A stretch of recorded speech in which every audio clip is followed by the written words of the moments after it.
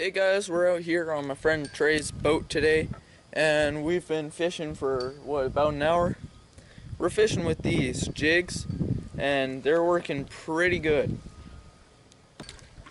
Jigs are probably one of the most versatile baits that you know ever existed. They're really old. They're they've been around for a while too, so you know, if it's been around, it's never, it's not like a tube that's just, that's on and off with popularity. It's always popular. Someone's always using one, you know?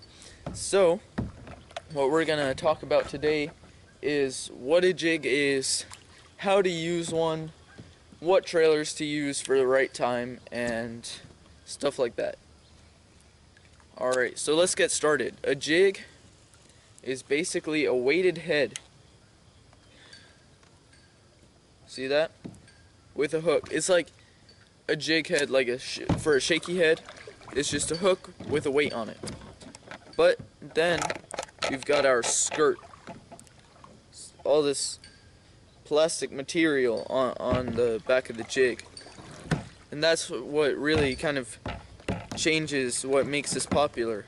Another important thing of your jig is the tra trailer you choose. Because Without a trailer, a jig would not work most of the time.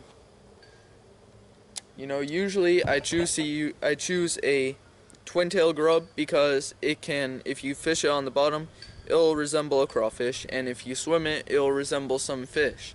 You know, and since I'm doing tournaments, I've only got three rods. I need to be efficient. I need to be able to do some different presentations when we go go from cove to cove. You know, and that's an important thing when, when you're fishing. Can you drop it down maybe? Thanks. Drop, give me a little bit of line. So just always make sure your jig that you need to pay attention to what the bass are eating.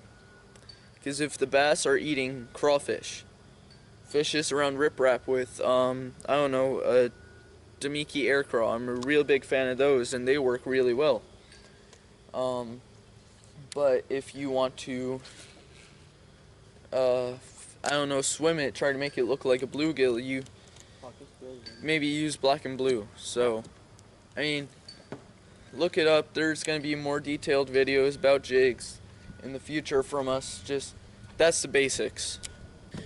Remember to like, comment, and subscribe. Thanks, guys.